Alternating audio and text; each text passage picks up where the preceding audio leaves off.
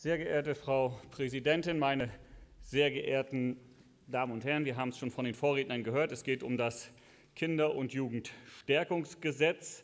Äh, die Maßnahmen, die da drin vorgeschlagen wurden, sind durchaus, glaube ich, da spreche ich auch für alle sinnvoll und zum Teil auch notwendig. Insofern ist das Gesetz durchaus zu unterstützen. Aber auch das haben wir gehört, die Ausfinanzierung dieses vom Bund erlassenen Gesetzes lässt deutlich zu wünschen übrig. Schwerin und Rostock haben das ja mal berechnen lassen. Schwerin kam dabei auf Mehrkosten von 8,8 Millionen und Rostock von 11,8 Millionen. Und wir haben es ja eben vom Innenminister gehört. Das Land macht sich auch einen schlanken Fuß und sagt, das ist ja Bundesgesetz und da haben wir gar nichts mit zu tun. Das sollen die Kommunen mal alles schön selbst bezahlen. Auf der Meinung kann man natürlich stehen, weil das Konnexitätsprinzip in der Tat äh, dazu sagt, dass es Landesgesetze sein müssen oder Aufgaben, die das Land auf die Kommunen überführt, die müssen ausfinanziert sein.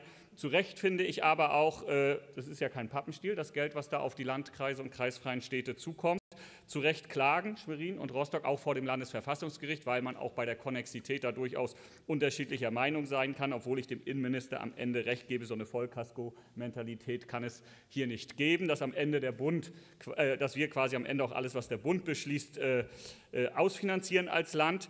Aber auch Schwerin prüft deshalb ja auch oder ist auch dabei, beim Bundesverfassungsgericht zu prüfen, ob es sich hier nicht um einen Eingriff in die gemeindliche Selbstverwaltung handelt. Aus meiner Sicht ist das durchaus gegeben, aber wir wissen alle, vor Gericht und auf hoher See ist abzuwarten, was bei rauskommt. Ich finde, die Klagen werden zu Recht beschwitten. Ich finde, die SPD kann sich auch nicht so einen schlanken Fuß machen hier im Haus. Früher weiß ich, wenn es um so ein Thema ging, hieß es hier immer, die CDU-Fraktion soll am liebsten in Busstärke vor das Kanzleramt fahren und da so lange bleiben, bis das geklärt ist. Da sind wir jetzt nicht mehr in der Verantwortung, deshalb erwarten wir jetzt auch mal von Ihnen. Äh, manchmal hat man das Gefühl, die SPD im Bund und Land, das sind zwei unterschiedliche Parteien.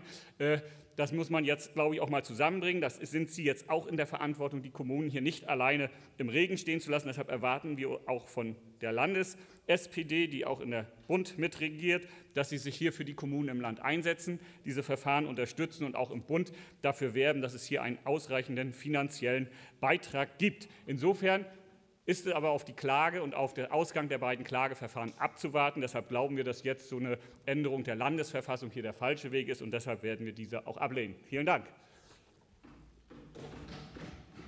Vielen Dank, Herr Abgeordneter. Das Wort hat jetzt für die Fraktion Die Linke Herr Nötzel.